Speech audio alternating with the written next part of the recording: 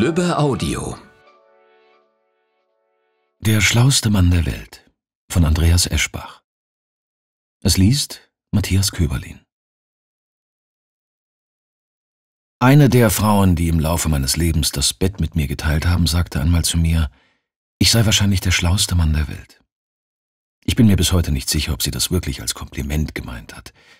Ich bin mir auch nicht sicher, ob es stimmt. Vielleicht. Vielleicht auch nicht. Aber ich will im Folgenden über mein Leben berichten. Und dann können Sie ja selbst urteilen. Wo fange ich an? Egal. Ich kann hier und jetzt anfangen. Hier und jetzt sitze ich auf der Terrasse meiner Suite im Hotel Rosenpalais, von der aus man eine fantastische Aussicht über die Stadt hat. Das Wetter ist herrlich, ein mildes Lüftchen weht, nicht zu kalt und nicht zu warm. Von der fantastischen Aussicht mache ich im Moment allerdings keinen Gebrauch, weil ich einen Computer vor mir habe, in dessen Bildschirm ich mich spiegle, während ich schreibe. Mir gegenüber ist der Etagenkellner damit beschäftigt, auf einem Tischchen einen Imbiss aufzubauen. Ich erspähe ein Stück Kuchen mit Schlagsahne, einen Korb mit frischen Brötchen, eine Schale mit Obst, goldgelben Orangensaft im Glas. Auf einem Teller liegen Lachs, ein paar Scheiben Avocado, Käse, Schinken, dazu Butter und Sahnemeerrettich in weißem Porzellan. Eine kleine Kanne Kaffee steht da und ein Glas Champagner.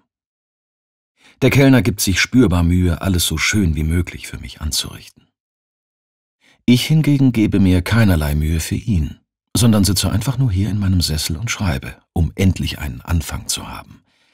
Würde uns jemand zusehen, er würde den Eindruck haben, dass ich den Kellner gar nicht beachte. Doch das stimmt nicht.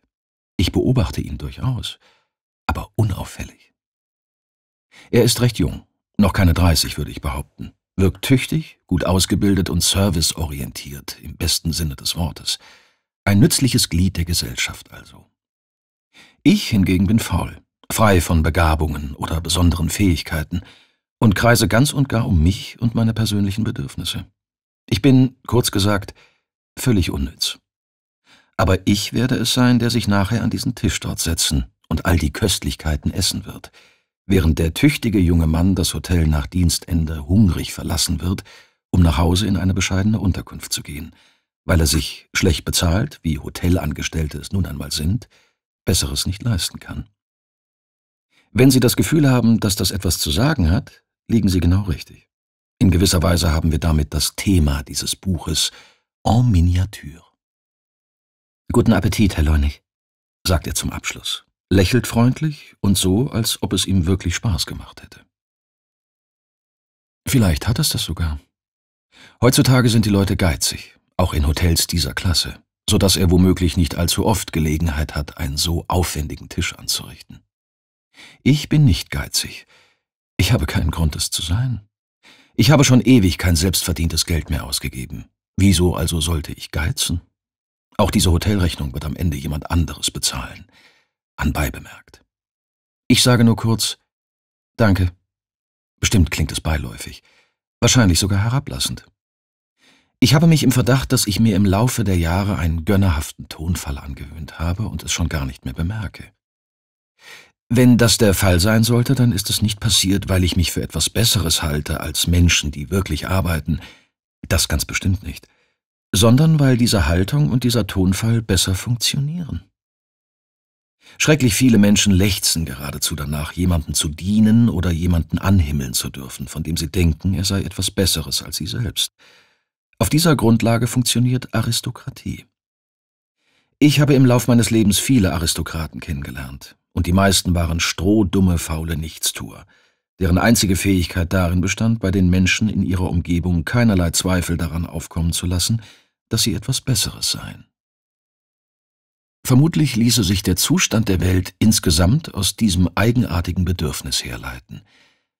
Ein interessanter Gedanke, dem ich gerne noch nachhängen würde, aber wie soll ich sagen, ich werde nicht die Zeit haben, diese Überlegung weiter zu vertiefen, denn nach Stand der Dinge werde ich in zehn Tagen tot sein, und deswegen beschäftigen mich andere Fragen gerade weitaus mehr.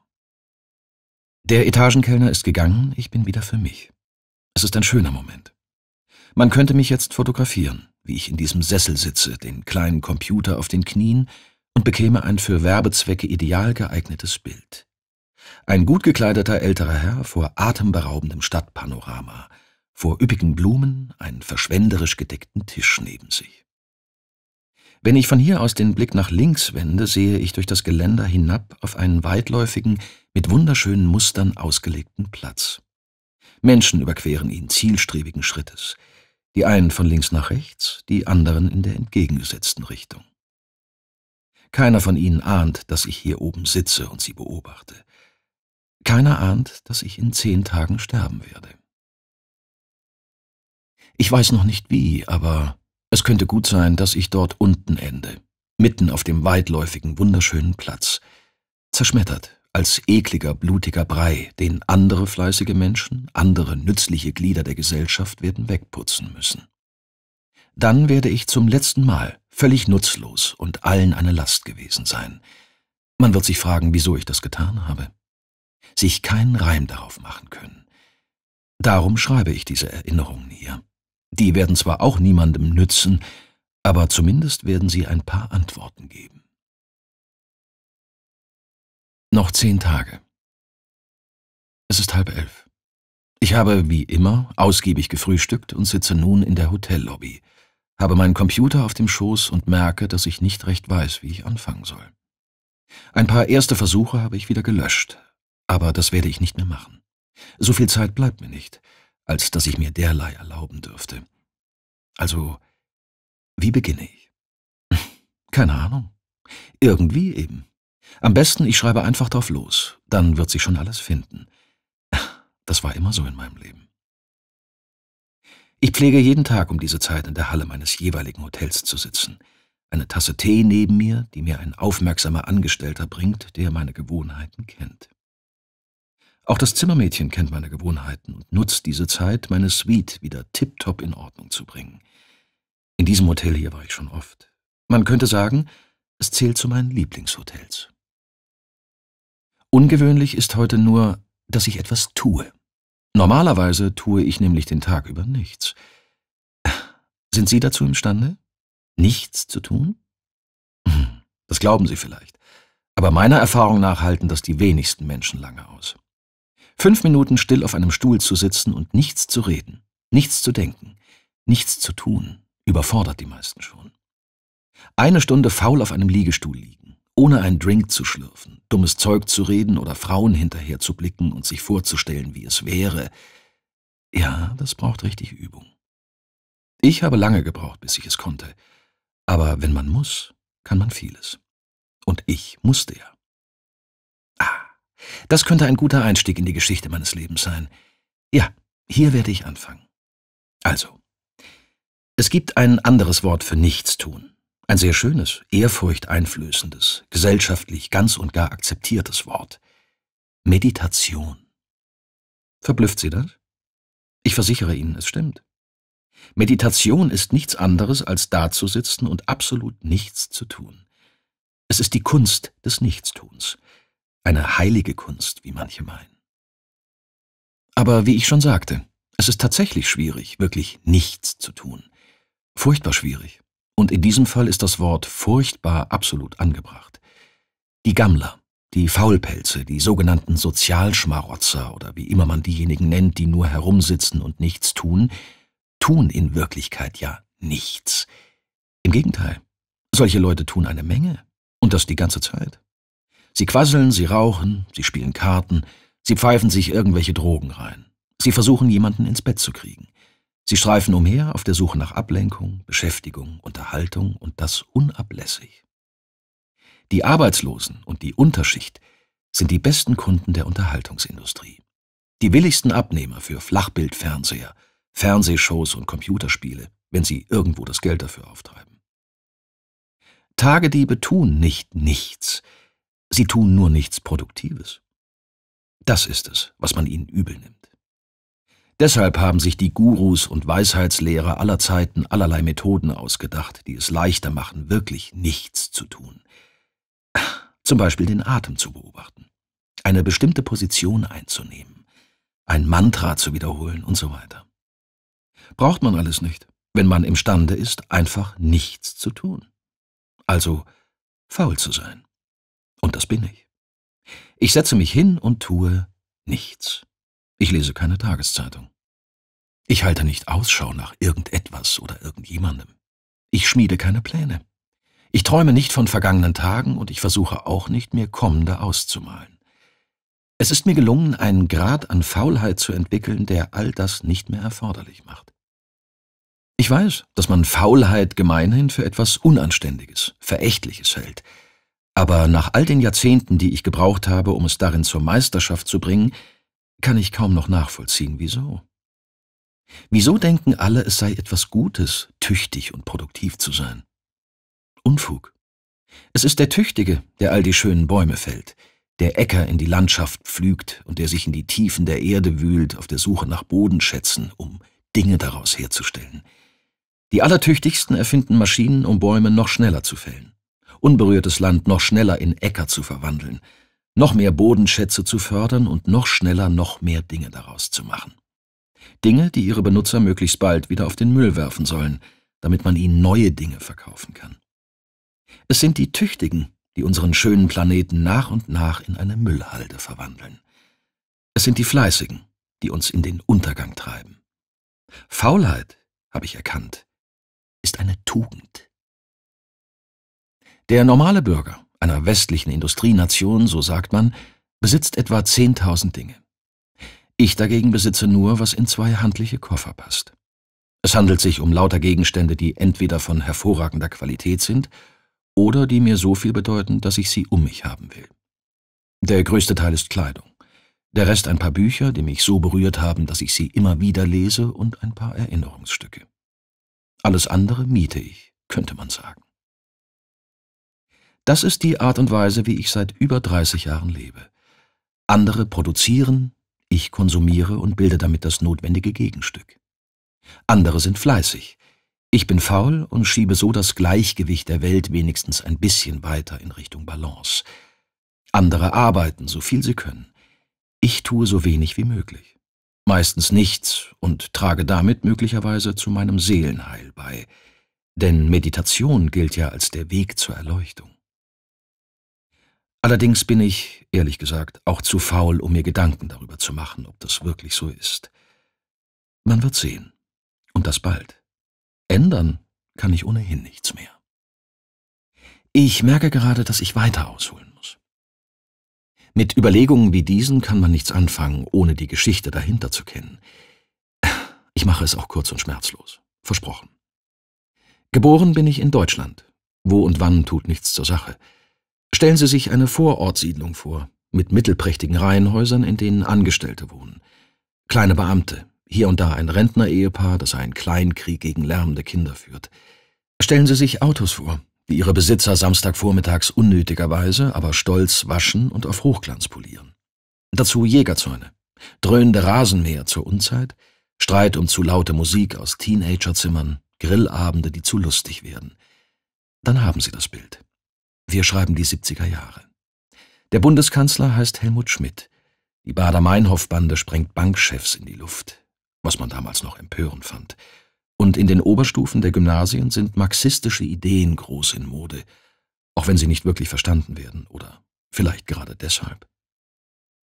Und mitten darin ich. Ein mittelmäßiger Schüler, der auf ein mittelmäßiges Abitur zusteuert und dumpf ahnt, dass ihm danach Bundeswehr, Studium, Beruf, Heirat und ein mittelmäßiges bürgerliches Leben drohen. In dieser Reihenfolge. Keine Aussicht, die mich begeistert hätte, Bloß wusste ich keine Alternative. Ich kannte auch niemanden, der eine wusste. Außerdem hätte ich das alles sowieso klaglos akzeptiert, wenn ich nur eine feste Freundin gehabt hätte. Hatte ich aber nicht, weil ich nichts Besonderes war. Ich war nur ein magerer, unansehnlicher Jüngling mit Pickeln. Und ich hatte nicht mal ein Mofa, nur ein altes Fahrrad. Entsprechend begrenzt waren meine sexuellen Erfahrungen. Mein erstes Erlebnis in diesem Zusammenhang hatte ich mit einer Cousine, als ich in den Ferien bei Verwandten zu Besuch war. Beauftragt, mir die Umgebung zu zeigen, lockte sie mich in ein einsames Wäldchen, um mir dort ungeschickt, aber fest entschlossen, einen von der Palme zu wedeln. Und zwar, wie sie mir danach erklärte, um nachzuprüfen, ob es stimme, was ihr eine Freundin erzählt hatte. Ich schlug vor, dass wir das ruhig öfter machen könnten, aber sie meinte, so toll fände sie es nun auch wieder nicht. Dann, Kurz nach meinem 16. Geburtstag zog mich im Trubel einer aus den Fugen geratenen Silvesterfeier ein dürres, betrunkenes Mädchen in ein dunkles Zimmer und über sich. Ein aufregendes Erlebnis und nicht schlecht als erstes Mal, wie ich fand. Danach gingen wir ein paar Wochen miteinander und taten es noch weitere viermal. Aber dann machte sie Schluss, mit der Begründung, sie habe das an Silvester sowieso nicht so ernst gemeint. Mir war es nicht unrecht, denn ich fand sie, wenn ich ehrlich war, ziemlich hässlich und war mir nur nicht schlüssig gewesen, ob der Sex mit ihr das ausglich. Meine Anläufe, etwas mit Mädchen anzufangen, in die ich verliebt war, scheiterten hingegen allesamt kläglich. Dadurch hatte ich zwar genug Zeit, mich gründlich auf das Abitur vorzubereiten, doch es stellte sich heraus, dass meine mittelmäßigen Noten nichts mit mangelnder Zeit zu tun hatten. Bei der Musterung hieß es, ich sei Tauglichkeitsstufe 3, also bewarb ich mich gar nicht erst um einen Studienplatz, sondern wartete den Brief vom Bund ab. Der kam ewig nicht, und als er schließlich doch kam, war es zu meiner Überraschung eine Zurückstellung. Ein Fehler in der Organisation, was ich jedoch nur vermuten kann, denn ich war damals zwar noch nicht sonderlich schlau, aber so doof nun auch wieder nicht, dass ich nachgefragt hätte, wieso man mich nicht wollte. So kam es, dass ich auf einmal viel Zeit hatte. Einem gewissen Carsten Baumann aus der Parallelklasse, mit dem ich zusammen Physik AG gemacht hatte, war es ähnlich ergangen, und er hatte die Idee, nach Indien zu reisen. So viel Zeit am Stück haben wir nie wieder im Leben, erklärte er mir. Das muss man ausnützen. Nach Indien zu reisen war damals angesagt. Alle coolen Leute machten Trips nach Indien. Weswegen mir das nie in den Sinn gekommen war, denn die coolen Leute, das waren andere, nicht ich. Carsten sah das deutlich entspannter. Er hatte eine ältere Schwester namens Silke, die schon in Indien gewesen war, und er meinte, was Silke könne, das könnten er und ich auch. Ich meldete Zweifel an, mir das leisten zu können, aber die ließ er nicht gelten. In Indien, erklärte er, lebe man total billig. Wenn man erst mal da sei, reichten ein paar Mark für Monate. So habe es seine Schwester auch gemacht. Er bequatschte mich also und kurz darauf flogen wir von Frankfurt nach Bombay. Wir reisten mit einer arabischen Fluglinie, deren Maschine viel Platz bot und hervorragendes Essen. Das islamische Alkoholverbot schien an Bord keine Rolle zu spielen. Jedenfalls gab es zum Essen Wein und im Duty Free auch härtere Spirituosen. Leider. Denn so konnte Carsten eine Flasche Whisky erstehen. Mit dem Ergebnis, dass er bei unserer Ankunft in Bombay stockbesoffen war. Es war der totale Kulturschock für mich. Der Flughafen stank wie eine öffentliche Toilette. Mein Kumpel wie eine schottische Destillerie und an mir blieb es hängen, uns irgendwie durch den Zoll und in den Bus nach Goa zu befördern. Ich weiß beim besten Willen nicht mehr, wie ich das geschafft habe. Ich erinnere mich nur, dass vor dem Ausgang des Flughafens ein Gewühl herrschte, wie ich es noch nie gesehen hatte. Buchstäblich Tausende von Menschen, die händefuchtelnd auf alle Neuankömmlinge einbrüllten, ihnen Taxis anboten oder Hotels oder Sex, und das alles um sieben Uhr morgens. Ich erinnere mich an eine Fahrt in einem Taxi, dessen Tür nicht schloss, sondern mit dünnem, grünem Draht festgebunden werden musste, an Straßen voller Dreck und Bettler, an eine schier endlose Schlange vor einem Fahrkartenschalter, in dem ein gelangweilter Mann saß, der mich nicht verstand und den ich nicht verstand, an brütende Hitze und staubige Luft und an Horden von Fahrrädern, wildhubenden Rikschas und knatternden Mopeds. Aber irgendwie schafften wir es an Bord eines Busses, der sogar tatsächlich nach Goa fuhr, und unser Gepäck hatten wir auch noch. Die Fahrt dauerte ewig. Wir saßen eingepfercht zwischen dicken Hausfrauen, die unaufhörlich miteinander schnatterten in einer Sprache, aus der ich nicht einmal einzelne Worte heraushörte. Kindern, die uns stundenlang anstarrten, Männern, die unentwegt seltsames Zeug kauten, Hühnern in zerbeulten Drahtkäfigen, Körben voller gammeliger Früchte, die ich noch nie gesehen hatte, und unglaublich voluminösen Koffern. Mal wurde mir schlecht, mal Carsten. Es ging über Schotterpisten, auf die sich in Deutschland nicht mal ein Traktor gewagt hätte, und es nahm und nahm kein Ende. Bis es dann doch ein Ende nahm und wir da waren, in Goa, dem gelobten Land. Inzwischen war Carsten wieder nüchtern und schaffte es irgendwie, uns eine Hütte am Strand zu mieten. Vor dieser ließen wir uns atemlos erst einmal nieder und schauten lange einfach nur auf diesen weißen, unglaublichen Sand, und diese unglaublichen Wellen und die unglaublichen Palmen und die unglaublichen Frauen, die all das bevölkerten, und konnten unser Glück kaum fassen. Wie sich in solchen Fällen immer rasch herausstellt, war das Glück nicht so groß, wie es auf den ersten Blick den Anschein gehabt hatte. Die Frauen waren unglaublich. Das stimmte. Aber wir beide waren nicht cool genug, als dass sie sich mit uns abgegeben hätten. Denn es gab jede Menge andere, viel coolere Männer mit längeren Haaren, breiteren Schultern und lässigerem Auftreten. Nach ein paar Tagen hing mir das alles, das Baden im Meer, die allgegenwärtigen Moskitos und das Gefühl, unsichtbar zu sein, zum Hals heraus. Und ich blieb einfach in unserer Hütte, pflegte meinen Sonnenbrand und tat mir leid. Carsten dagegen zog herum und fand einen Dreh, doch noch cool zu werden. Er stieg nämlich in den Handel mit Marihuana ein oder, wie man es damals nannte, Gras. Wer Haschisch anzubieten hatte, der kriegte die Mädchen, auch ohne wie ein Surfer auszusehen. Von mir erwartete Carsten in solchen Fällen, die Hütte zu räumen und irgendwo zu warten, bis die beiden wieder herauskamen. Das Mädchen mit einer Tüte in der Hand und er mit einem satten Grinsen auf dem Gesicht. Gerade als ich mal wieder an der Theke der Strandkneipe über einer Cola saß, die ich auszudehnen gedachte, bis Carsten seinen neuesten Deal abgeschlossen hatte, setzte sich eine Frau neben mich, die um die dreißig war, aus Sicht eines 18-Jährigen, also steinalt. Sie hatte lange staubbraune Locken, Falten um die Augen und ein dünnes Batikkleid am Leib, und aus irgendeinem Grund ignorierte sie mich nicht, wie alle anderen, sondern wollte wissen, woher ich käme und wie ich hieße. Ich gab die gewünschten Auskünfte und erfuhr, dass sie Gerti hieß und aus Österreich kam, genauer gesagt aus Wien, und dass sie in Indien war, um über ihre Scheidung hinwegzukommen. Goa, erklärte sie, sei nur die erste Station, ihr eigentliches Ziel sei ein Ashram weiter im Norden. Aha, sagte ich. Sie wollen zu diesem Guru. Wie heißt er? Bhagwan? Mm, bloß nicht winkte Gerti ab. Dort gehe jeder hin. Das sei nichts für sie. Aber ob ich schon mal von Swami Navren gehört hätte? Nein, gestand ich, worauf sie mir in aller Ausführlichkeit erzählte, wie sie mit diesem Meister in Kontakt gekommen war, über eine Bekannte in Salzburg nämlich, die schon mehrmals zu Füßen des Swami gesessen hatte, von ihm gesegnet worden sei und der es seither richtig gut ginge, und wie wunderbar es sein würde, ihn zu sehen und sich seinen Lehren zu öffnen. Wie es sie spirituell weiterbringen würde, wie die Weisheit der Fäden ihr helfen würde, die Illusionen der Zivilisation zu durchschauen. Und so weiter. Irgendwann muss ihr aufgefallen sein, dass ich schon lange nicht mehr zu Wort gekommen war, denn sie brach mitten im Satz ab und wollte wissen, was mich denn nach Indien gebracht hätte. Mein sogenannter Freund Carsten, sagte ich und klagte ihr mein Leid. Dass Carsten alle Mädchen abkriegte und ich keines, weil er mit Hasch um sich werfen konnte, während ich nicht mal wusste, woher er das Zeug überhaupt hatte. Und dass ich mir die Reise nach Indien eigentlich anders vorgestellt hätte. Daraufhin musterte sie mich von oben bis unten und meinte, es zwingt dich doch niemand zu bleiben. Komm einfach mit mir in den Ashram.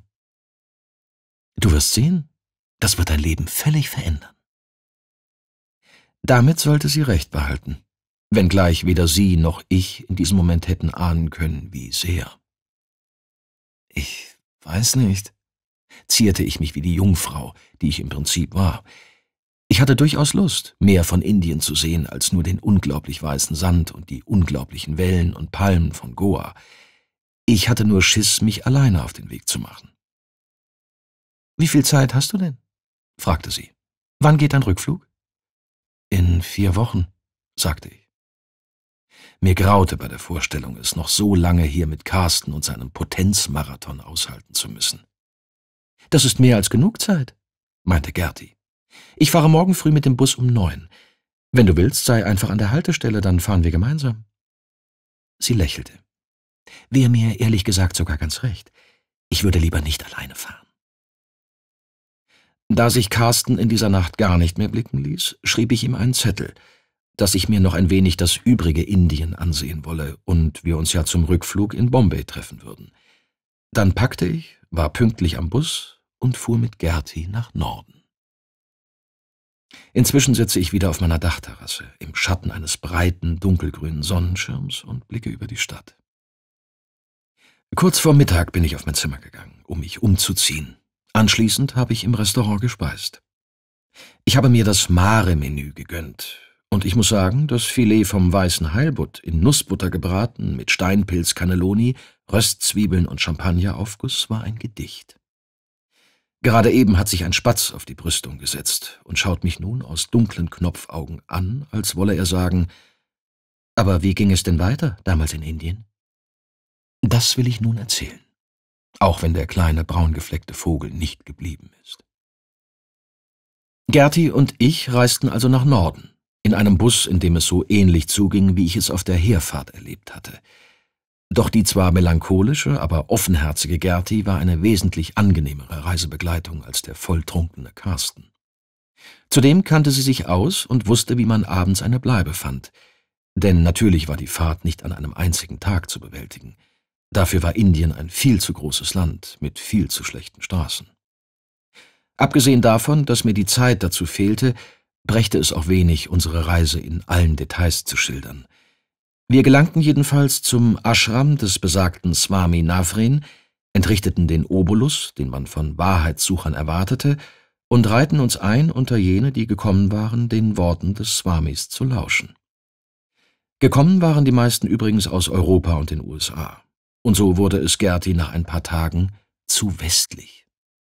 Wir zogen also weiter und klapperten im Lauf der folgenden Wochen noch eine ganze Reihe von Ashrams, Swamis, Gurus und Yogis ab, deren Namen ich beim besten Willen nicht mehr alle zusammenbrächte.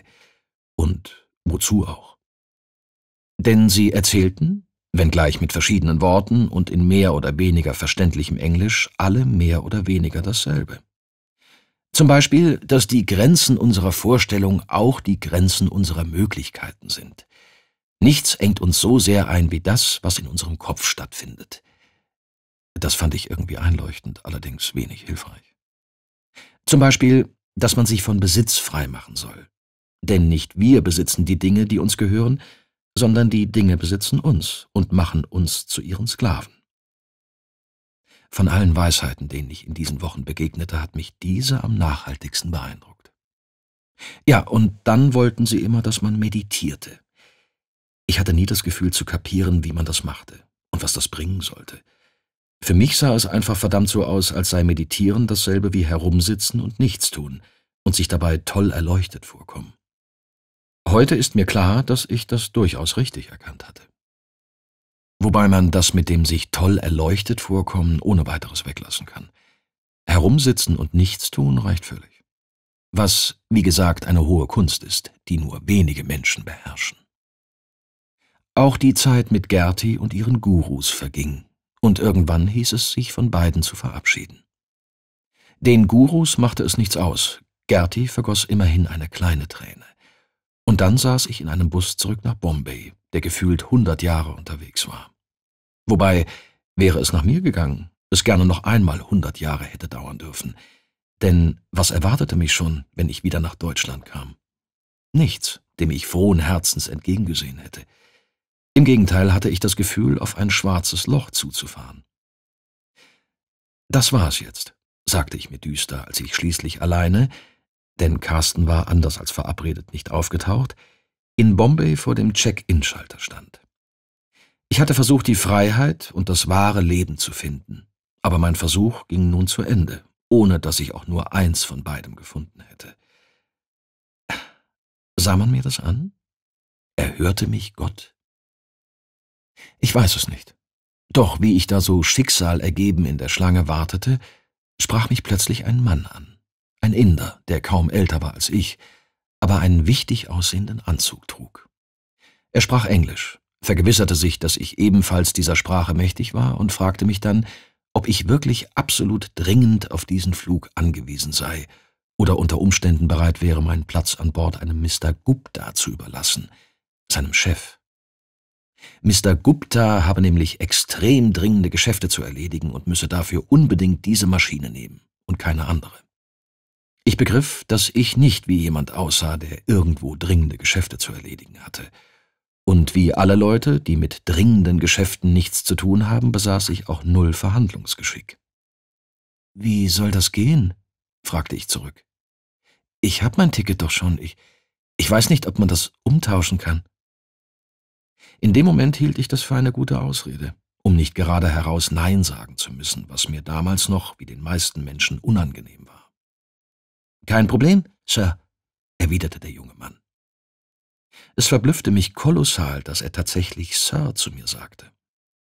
Sie bekommen von uns einen anderen Flug, erster Klasse selbstverständlich.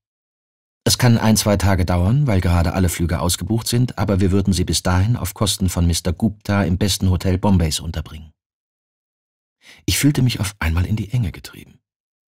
Konnte das ein ernst gemeintes Angebot sein, oder war es eine Art Abzocke, von der ich nur noch nie gehört hatte?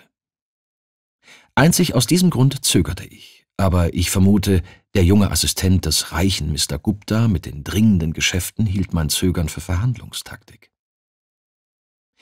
Also im Prinzip wandte ich mich auf der Suche nach einem anständigen Ausweg aus dieser Klemme, müsste ich nicht unbedingt diesen Flug nehmen, und das mit dem Hotel und so weiter wäre auch okay, aber ehrlich gesagt, ich kann mir das nicht leisten.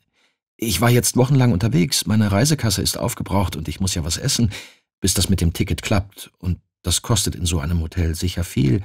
Nein, nein, unterbrach mich mein so edel beanzugter Altersgenosse geradezu entsetzt. Selbstverständlich hält Mr. Gupta Sie frei. Sie gehen einfach ins Hotelrestaurant oder in die Hotelbar und essen und trinken, was Sie wollen. Sie brauchen nur die Rechnung zu unterschreiben, das übernehmen wir alles. Bloß für einen Flug? wunderte ich mich. Es geht um ein Millionengeschäft, beteuerte er. Das war, daran sei erinnert, Ende der 70er. In einer Zeit also, als eine Million noch viel Geld war. Bitte sehr, was sagen Sie? Ich sah ihn an. Er war, wie gesagt, etwa in meinem Alter, und er schwitzte. Ich sah mich selber in Bälde auch irgendwo schwitzen, um die blödsinnigen Wünsche eines blödsinnigen Chefs zu erfüllen. Eigentlich eher aus Mitleid mit ihm nickte ich und erklärte, äh, okay, von mir aus, ich hab's nicht eilig. Man konnte beinahe hören, wie ihm ein riesiger Stein vom Herzen fiel und ich sagte mir, dass ich damit wohl meine gute Tat für diesen Tag vollbracht hatte. Er zog mich aus der Schlange, schleppte mich zum Ticketschalter und begann in einem mir unverständlichen Slang auf die Frau dahinter einzureden. Je länger das ging, desto mehr beschlich mich ein ungutes Gefühl. Aber es war zu spät. Die Frau zog einen Berg von Formularen hervor, die ich alle brav unterschrieb, mit dem sicheren Gefühl, dass ich es bereuen würde – Danach dirigierte mich der junge Mann hurtig mitsamt meiner Umhängetasche zu einem Taxi, in dem ein Mann mit Turban saß. Diesem gab er mit verblüffend befehlsgewohnter Stimme eine Reihe von Anweisungen, die in den Worten endeten Palace Hotel. In einem letzten, aussichtslosen Versuch, die ganze Sache doch noch abzubiegen, rief ich aus Ich muss aber meine Eltern anrufen, die machen sich sonst Sorgen. Er sah mich an mittlerweile etwas genervt, wie mir schien. Ihr Zimmer hat selbstverständlich Telefon, erwiderte er. Die Rezeption wird die Verbindung herstellen. No problem. Damit schob er mich mitsamt meiner Tasche auf den Rücksitz, schlug die Tür zu und das Taxi fuhr los. No problem? Ich hatte sehr wohl ein Problem. Ich hatte mich reinlegen lassen, sagte ich mir. Ich wusste nicht mal, wie dieser angebliche Geschäftsmann aussah oder wie ich ihn erreichen oder haftbar machen konnte, falls er den Deal platzen ließ.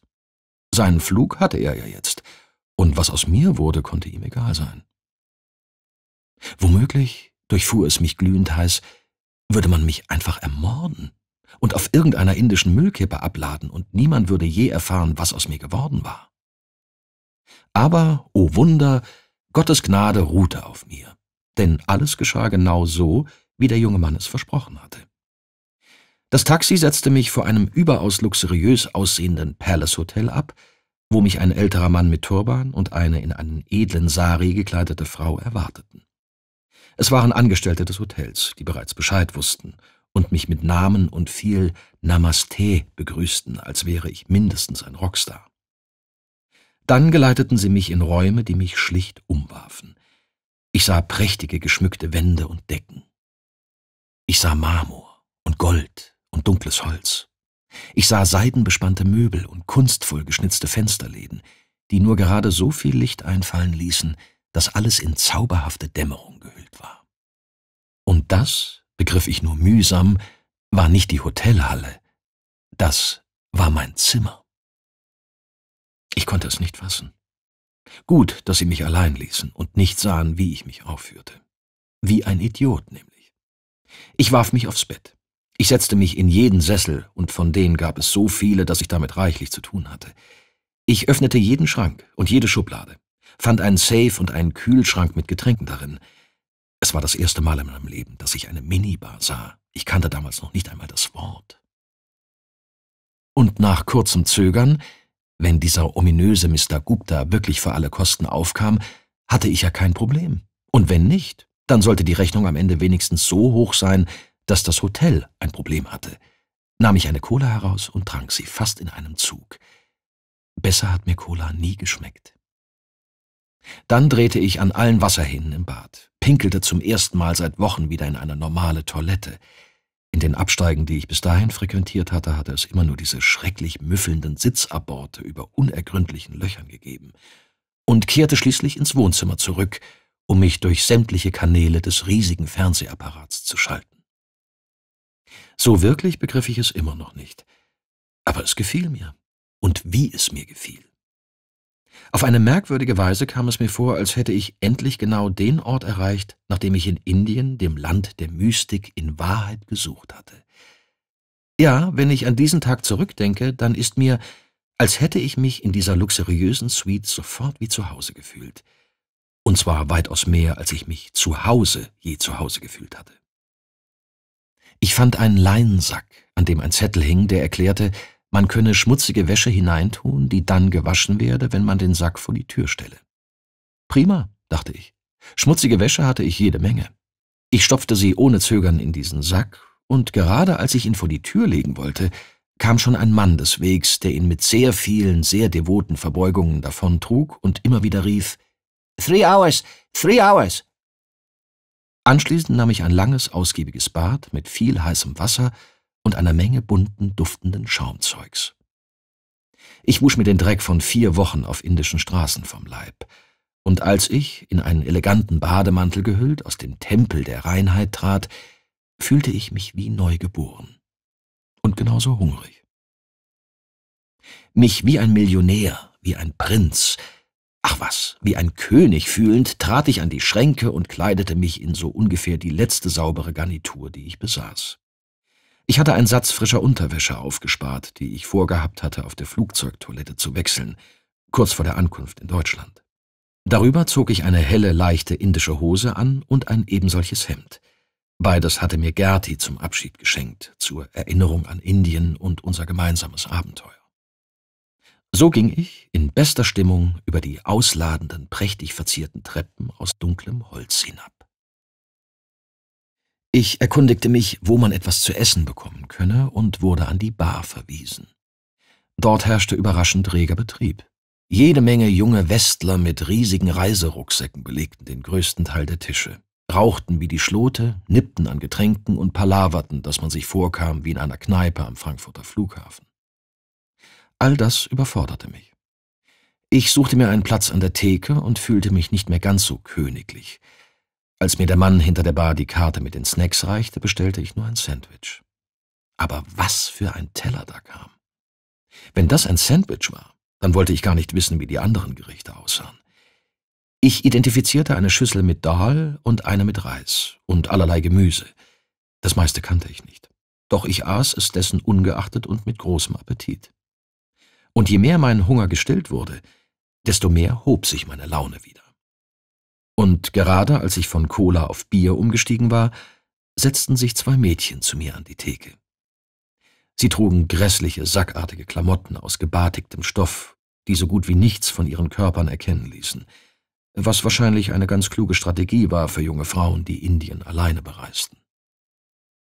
Außerdem sprachen sie Deutsch, kamen aus München und hatten ein Zugticket nach Goa, wie ich erfuhr, als wir ins Gespräch kamen.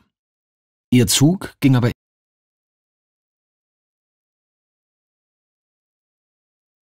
Erfahrene Reisende in den Lobbys der besten Hotels, die sie finden konnten. All die Leute, die ich hier sah, waren demnach erfahrene Reisende, sagte ich mir, und musste plötzlich lachen, weil das alles so absurd war. Und du? fragte die eine, die näher bei mir saß und die ich deutlich hübscher fand als ihre Freundin. Ich? sagte ich so lässig wie möglich. Ich reise einfach so herum. Jetzt behauptest du bestimmt gleich, dass du hier im Hotel wohnst, meinte sie und hatte entzückende Grübchen, wenn sie so argwöhnisch grinste. Grübchen, die gut zu ihren dichten blonden Locken passten. Wie ein Rauschgoldengel sah sie in diesem Moment aus. Abgesehen von ihren grässlich sackartigen Klamotten aus gebartigtem Stoff, wie gesagt. Ja, in der Suite 501, erwiderte ich trocken. Sie lachte mich aus. Glaube ich dir nicht. So siehst du nicht aus. Mir egal, sagte ich und hob die Schultern, als sei es mir wirklich egal. Aber ich sah natürlich den Blick, den die beiden wechselten, und der sehr danach aussah, als verständigten sie sich gerade darauf, dass ich ein hoffnungsloser Angeber sei. In dieser Situation tat mir der Barkeeper, ohne es zu ahnen, einen absolut grandiosen Gefallen. Er kam nämlich mit der Rechnung an und sagte, Excuse me, Sir. Dann erklärte er, es sei Schichtwechsel, ob ich so freundlich sei, die Rechnung gegenzuzeichnen. Damit schob er mir ein Blatt Papier hin auf einem silbernen Tablett. Es handelte sich um das etwas schief gedruckte, nichtsdestoweniger vornehme Rechnungsformular des Hotels. Handschriftlich waren das sogenannte Sandwich und die Getränke aufgelistet, die ich bestellt hatte, neben jeweils enorm beeindruckend aussehenden Beträgen in indischen Rupien. Und im Feld Room Number stand Suite 501. Jetzt würde sich zeigen, ob es stimmte, was der Typ am Flughafen gesagt hatte. Ich nahm den Stift, der dabei lag, kritzelte meine Unterschrift auf das Blatt, der Kellner bedankte sich und trug alles wieder davon. Es genügte also tatsächlich. Das haute mich um. Und das Rauschgoldengelmädchen hatte die Szene genau verfolgt. Wow, sagte sie und ich will dein Zimmer sehen. Dann komm mit, erwiderte ich mit einer Schlagfertigkeit, die ich normalerweise nicht an mir kannte. Worauf sie, ohne eine Sekunde zu zögern, ihre Freundin sitzen ließ und mit mir kam. Der Anblick der Suite plättete sie genauso wie mich kurz davor. Das ist ja irre, sagte sie immer wieder. Wie kannst du dir sowas leisten? Aus einem Impuls heraus behauptete ich, meine Eltern waren Milliardäre. Sie sind vor einem Jahr bei einem Flugzeugabsturz ums Leben gekommen und seither reise ich in der Welt herum. Ich hob die Schultern und setzte ein betrübtes Gesicht auf. Ich habe so viel Geld, dass ich es in meinem ganzen Leben nicht ausgeben kann. Echt? Sie starrte mich so geschockt an, dass ich einen Moment lang überzeugt war, es übertrieben zu haben. Aber das hatte ich natürlich nicht. Heute weiß ich, in solchen Dingen kann man es nicht übertreiben. Im Gegenteil, je dreister eine Lüge, desto bereitwilliger wird sie geglaubt. Keine unbedingt neue Erkenntnis. Auf Basis dieses Sachverhalts sind schon ganze Imperien begründet und auch wieder zerstört worden. Doch in Umkehrung eines damals populären Ausspruchs könnte man sagen, ein kleiner Schritt für die Menschheit, aber ein großer Schritt für mich. Denn das Mädchen wurde nun richtig nett zu mir. Sie fand und inspizierte die Minibar, schlug vor, die darin befindliche Sektflasche zu köpfen, was wir auch taten, und fragte mir dann Löcher in den Bauch über meine Milliardärseltern und meine Reisen. Über meine angeblichen Eltern erzählte ich eher wenig, über meine Indienreise eher mehr, denn meine Fantasie war zu sehr damit beschäftigt, mir auszumalen, wie sie unter ihren sackartigen Gewändern aussehen mochte, als dass ich mir großartige Geschichten hätte ausdenken können. Mein Trip durch die Ashrams so zu erzählen, dass er nach viel Geld klang, war anstrengend genug. Als ich damit durch war, fiel mir zum Glück ein, den Spieß umzudrehen und sie auszufragen, und sie erzählte bereitwillig von sich. Sie hieß Sira erfuhr ich neben allerhand anderen Dingen, die ich an dieser Stelle im Interesse des Erzählflusses überspringen will. Über all dem wurde es dunkel hinter den Fenstern. Eins kam zum anderen, und schließlich lagen wir uns in den Armen und küssten uns. Kurz darauf hatte ich Gelegenheit, die Realität mit den Bildern zu vergleichen, die meine Fantasie hervorgebracht hatte, und musste einmal mehr feststellen, dass Fantasie nicht meine Stärke ist, nicht einmal dann, wenn es darum geht, mir Frauen nackt vorzustellen. Das Bett war weich, aber nicht zu weich, und groß, wenn auch nicht groß genug. Ich will hier nicht mit Zahlen protzen, doch man bedenke, wir standen beide im vollen Saft unserer Jugend, waren mit Hormonen gefüllt bis zu den Augäpfeln, die Nacht war heiß und die Situation aufregend. Sagen wir, ich machte das Beste daraus. Wobei nicht verschwiegen werden soll, dass auch sie sich Mühe gab, mich dazu zu bringen, meine persönlichen Bestmarken neu zu definieren. Jedenfalls, ich war redlich ausgepumpt, als wir irgendwann tief in der Nacht einschliefen. Doch, o oh Wunder, als ich am Morgen wieder aufwachte, fühlte ich mich so frisch und energiegeladen, dass mir danach war, mit dieser bezaubernden Fee in meinen Armen gleich noch eine Nummer zu schieben. Und da dies die Zeit der Wunder war, brauchte ich sie nur zu wecken und voller Verlangen zu küssen und es zu tun. Ich hätte nie gedacht, dass ein Milliardär so sexy sein kann, meinte sie hinterher, als ihr Kinn auf meinem Brustkorb lag und sich unsere Schweißströme miteinander vermischten. Ich muss von einem Ohr zum anderen gegrinst haben, wie ein dicker, satter Kater. Ehrlich gesagt bin ich bloß sexy, gestand ich ihr dann, aber kein Milliardär. Fatalerweise empfand ich nämlich das Bedürfnis, Ehrlichkeit und Offenheit zwischen uns einkehren zu lassen.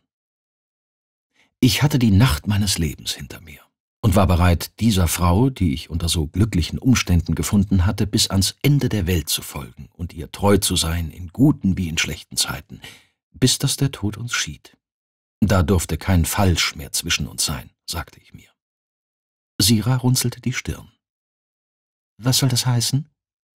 Ich bin nur ein Glückspilz, der sich gern wilde Storys ausdenkt, erklärte ich und erzählte ihr die ganze Geschichte. Du Schuft, sagte sie daraufhin, und wenn ich heute an den Ausdruck in ihren Augen zurückdenke, weiß ich, dass ich schon in diesem Moment hätte ahnen können, dass sie das nicht spaßhaft gemeint hatte. Aber ich war so blind, wie ein die Liebe oder das, was man dafür hält, eben machen kann. Ich lachte, sagte, ich müsse mal pinkeln und kroch aus dem Bett, um ins Bad zu wanken. Dort entleerte ich meine Blase und untersuchte mein bestes Stück auf Beschädigungen. Es wies keiner auf. Ich würde, beschloss ich, uns ein Frühstück bestellen und danach würden wir einfach weitermachen. Doch als ich ins Schlafzimmer zurückkehrte, fand ich das Bett leer vor. Sie hatte sich in Windeseile angezogen, ihre Sachen geschnappt und war verschwunden. Es dauerte dann nicht zwei, drei Tage, bis die Fluggesellschaft anrief und mir einen freien Sitz in einem Flugzeug nach Deutschland bestätigte, sondern eine geschlagene Woche. Wobei es von mir aus noch ein Jahr hätte dauern dürfen. Ich hatte es nicht eilig, meine luxuriöse Suite zu verlassen. Zu Hause erwartete mich nur ein winziges, muffiges Dachzimmer, das neben meiner Unterbringung hauptsächlich dazu diente, düstere Möbel meiner Großeltern aufzubewahren. Unansehnlich, aber noch zu gut zum Wegwerfen. Und eine Studentenbude würde auch nicht groß anders aussehen, nach allem, was ich gehört hatte. Doch es dauerte eben nur so lange, wie es dauerte, und schließlich saß ich in einem Flugzeug nach Hause. Erster Klasse immerhin, was den Abschied etwas weniger schmerzhaft machte.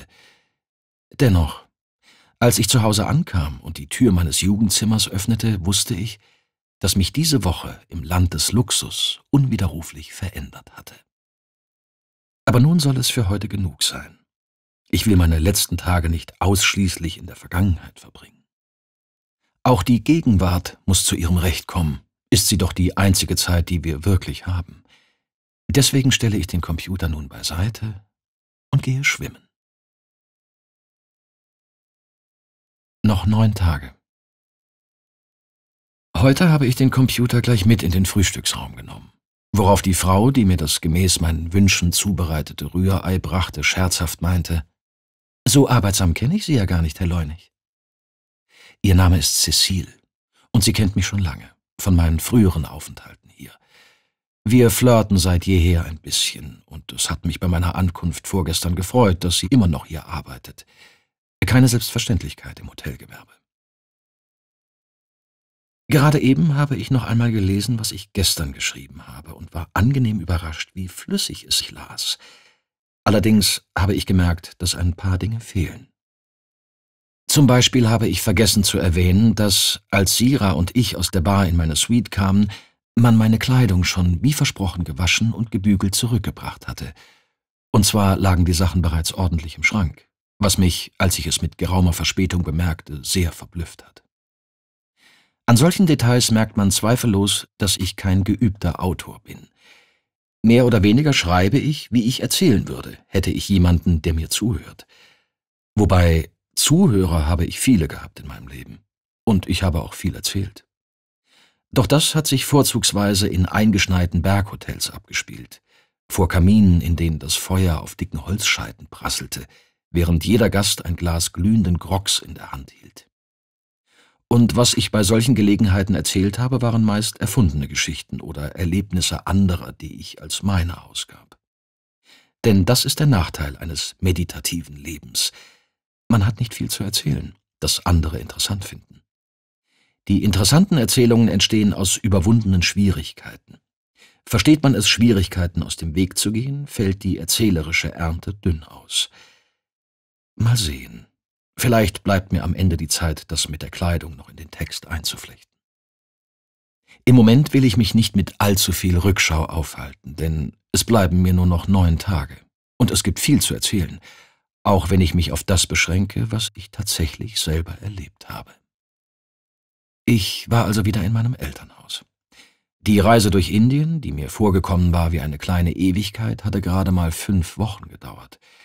In Deutschland jedoch, zu Hause, hatte sich so gut wie nichts verändert.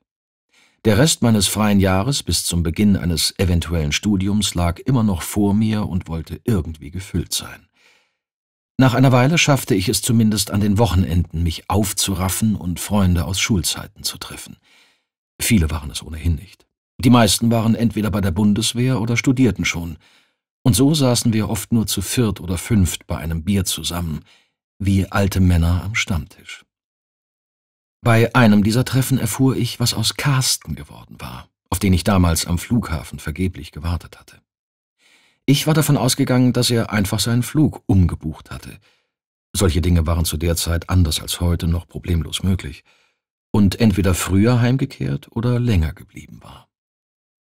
Tatsächlich war letzteres der Fall, allerdings unfreiwillig.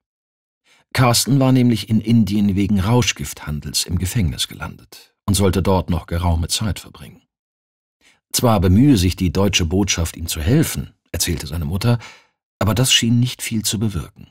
Jedenfalls sahen wir ihn erst einmal nicht wieder. Es hätte in dieser Zeit allerhand Dinge gegeben, über die ich mir hätte klar werden sollen. Zum Beispiel darüber, was ich denn eigentlich studieren wollte. Ich hatte keine Ahnung, wofür ich mich entscheiden sollte, und das, obwohl die Auswahl, die ich mit meinem lausigen Zeugnis hatte, nicht einmal sonderlich groß war. Ich fühlte mich mehr und mehr außerstande, mich mit dem Leben abzufinden, für das ich vorgesehen war.